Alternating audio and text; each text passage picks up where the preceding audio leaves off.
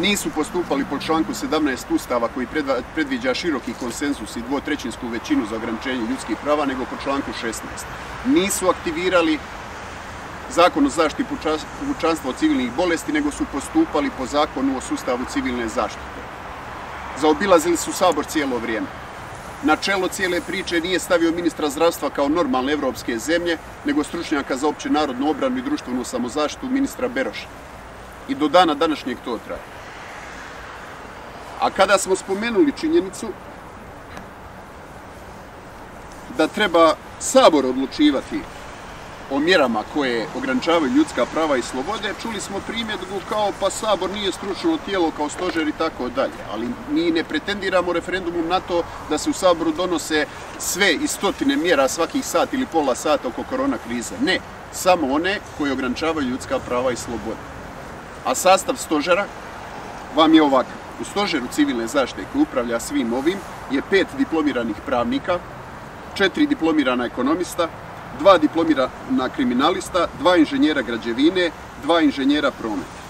Zatim tu je politolog, inženjer elektrotehnike, seizmolog, fizičar, agronom i samo dva doktora medicine. Jednostavnim izračunom možemo vidjeti da u Hrvatskom saboru i u apsolutnom i relativnom broju je više doktora medicine nego u Plenkovićevom stožaru. Potom, iznimno zabrinjavajuća stvar koja je prošla ispod radara medija je da je u četvrtak, odgovarajući na direktno pitanje naše zastupnice, o ovome, ministar Beroš rekao da se i onako stožer civilne zaštite samo par puta sastao u punom sastavu i da odluku donosi uža skupina ljudi. A donesene su stotine odluka. Dakle, on je priznao da su oni golemu većinu odluka donijeli bez ikakvog kvoruma. I to je ono što stalno govorimo. Ne samo da je stožer u startu svojim politikanstvom izgubio povjerenje ljudi, nego je odluke koje je donosio su i nelegitimne i nelegalne. I tu će biti posla iza suda. Referendum kojeg smo pokrenuli, smo pokrenuli kako bismo dali čvršće legalne i legitimne okvire za uspješniju borbu protiv koronavirusa. Jer se ljudi ne pridržavaju dovoljno ni osnovnih mjera nemaju povjerenja u stožer. Ja bi vam sad mogao izgovoriti čitavu litaniju od slučaja Hrebak, slučaja dodirivanja ili nedodrivanja tenisača pa do dana današnjeg. No želim vam reći još ovo. Nije slučajno da o koroni razgovaramo ispred zatvora Remetinec.